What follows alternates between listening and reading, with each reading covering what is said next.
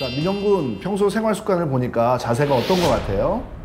어, 그닥 바른 자세인 것 같진 않아요. 그렇죠. 저 소파에 삐딱하게 앉아 있는 자세도 척추에 굉장히 좋지를 않고 두 번째로는 저 컴퓨터 할 때 자세를 보세요. 앞으로 구부정하게 목을 내밀고 하죠. 저런 자세도 아주 나빠요. 저런 자세들이 다 숨은 키를 만들어주고 있는 겁니다. 네. 자, 우리 요 그림을 좀 같이 볼까요? 어릴 때 좋지 않은 자세 습관이 오래도록 유지가 된다면 척추가 휘어지는 이런 측만증이라든지 그 다음에 목이 뻣뻣해지는 일자목 또는 목이 앞쪽으로 굽어지는 자라목이 생길 수가 있어요. 이런 측만증이나 자라목이 생기게 되면 척추가 성장을 트- 틀어져 있어서 성장을 하더라도 마치 성장이 더딘 것처럼 보이는 거죠. 다시 얘기해서 수문키가 나타나기 시작을 한다는 얘기예요. 네. 측만증을 치료를 해서 수문키를 찾아주면 이런 식으로 척추가 아주 고다지죠. 이 학생의 경우에는 이런 교정 후에 약 3cm 정도의 키가 더 커졌어요. 다시 말해서 3cm의 수문키를 찾아내 준 거죠. 네. 선생님, 그러면은 저한테도 숨은 키가 숨어 있을까요? 우리 민영대원에 수문키가 있는지는 몇 가지 검사를 해보고 그 결과를 보고 나서 다시 한번 저랑 상의하시죠. 네. 네. 숨은 키를 찾기 위해 검사실로 향하는 민영대원. 엑스레이를 통해 현재 척추 상태를 다양한 각도로 촬영해봤어요. 그 다음 척추의 휘어진 상태를 등고선으로 나타내주는 정밀 검사까지 완료. 선생님, 이렇게 나왔는데 이게 무슨 뜻인지. 자, 그림을 보면 비교적 척추는 아주 고, 고든 편이에요. 그런데 골반이 정상적인 골반에 비해서 약간 좀 삐뚤어져 있고요.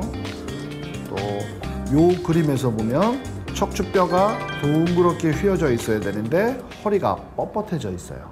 그래서 아마 많지는 않아도 약간의 수문키가 있는 것 같아요. 어, 그러면 저한테도 숨은 키가 있는 거네요? 예, 우리 민영대원한테도 수문키가 있네요. 자, 그러면 우리 민영대원의 수문키를 찾아서 같이 한번 가볼까요? 네. 네. 선생님, 이제 어떻게 해야 되나요? 자, 이제 집에서 할 수 있는 쉬운 동작부터 하나하나 몇 가지만 배워봅시다. 네. 네.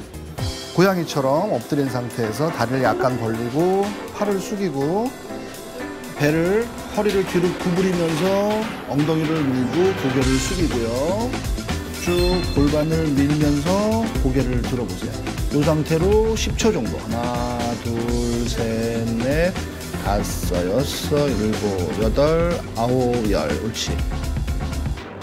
고양이가 기지개를 펴는 모습을 형상화한 이 고양이 자세는 척추의 탄력과 유연성을 길러준다고 해요.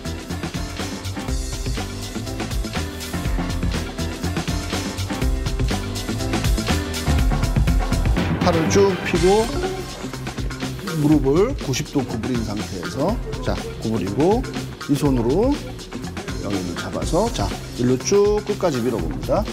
고개는 그렇죠. 어 잘하네. 상체 비틀기 운동은 허리와 등의 피로를 풀고 몸의 균형을 맞춰준대요. 친구들 잘 따라하고 있죠?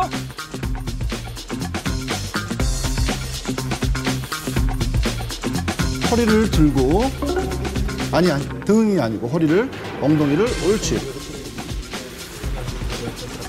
자 손으로 기대서 척추를 드는 거예요. 이런 동작. 똑같이 10초 정도. 허리 들어올리기를 할 때는 등이 아닌 허리를 들어올리는 게 포인트.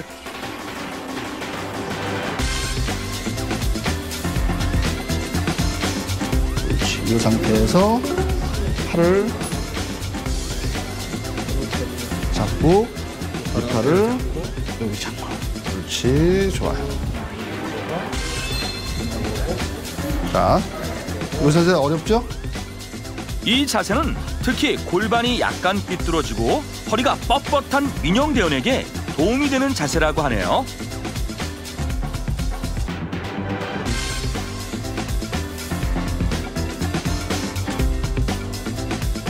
지금 하고 있는 이 스트레칭은 허리를 지탱해주고 있는 허리 직립근이라든지 골반 근육을 풀어주는 데 굉장히 도움이 많이 돼요. 그래서 골반이 삐뚤어졌거나 허리가 틀어졌을 때 단순한 이런 스트레칭만으로도 어느 정도까지는 다시 잡아줄 수가 있는 거예요.